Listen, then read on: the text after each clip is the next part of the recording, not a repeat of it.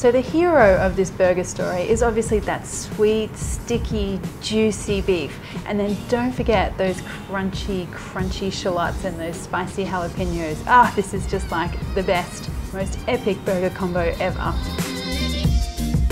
So the real secret behind that sticky, yummy beef is our sauce. And this sauce is gonna be our braising liquid and then it's also gonna be our awesome Asian barbecue sauce at the end. So it's a two in one. Um, and we're gonna start off with a little bit of garlic and then for some spicy kick, we want some sriracha sauce. Now you could add more or less sriracha sauce depending on how much chili you like in your dishes. Some soy sauce and then some tomato ketchup. And then we want some hoisin sauce, which will give us that Chinese barbecue kind of flavor. Some brown sugar, and then some beef stock. So we just give that a mix till it all comes together. And it's as simple as that. So now let's get on to our beef. So I'm using beef short ribs and I love this cut of beef because it has some great connective tissue and lots of fat running through it which is going to give us super flavor and a super juicy texture. Okay, so I just want to cut these into chunks. Now, if you can't get beef short ribs, you could use any type of secondary cut of beef. So like a stewing beef or chuck steak or gravy beef, any of those things, or a brisket as well, that would be great. Now you want to season these generously with salt, because we want to get as much flavor in here as possible. And now to sear the beef. So I'm going to add a little bit of oil just pop those beef pieces into your pan.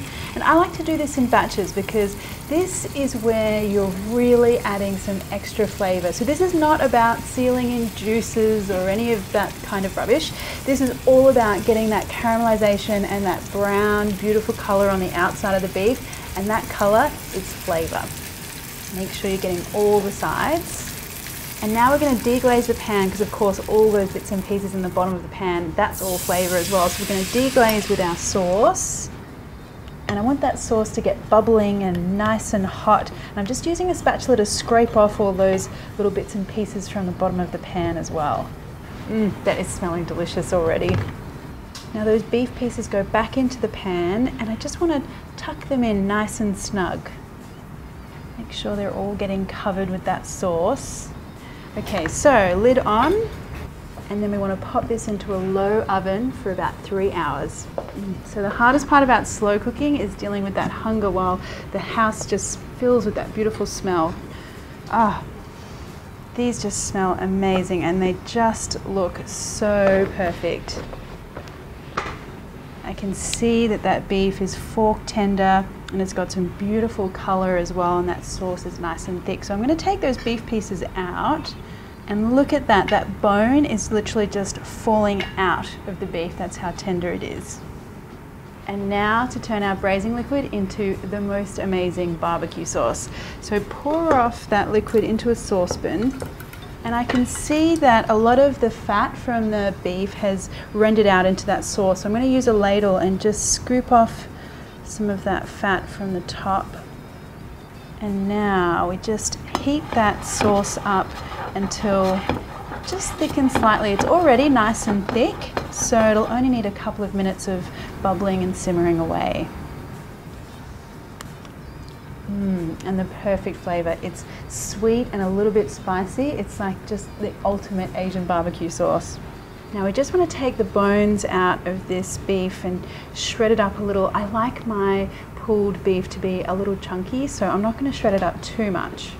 And now pour some of that epic sauce all over the top and give that a good mix. It is so hard not to resist eating this entire plateful right now, but there are burgers coming to remind myself.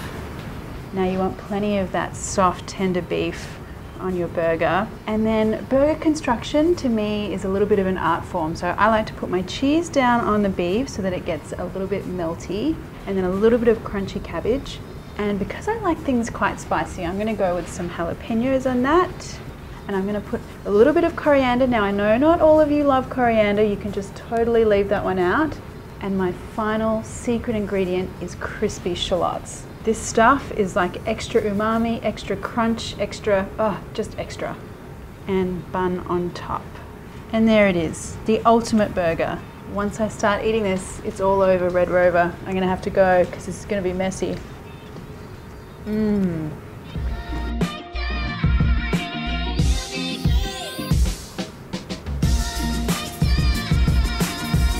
I'm not joking, you too.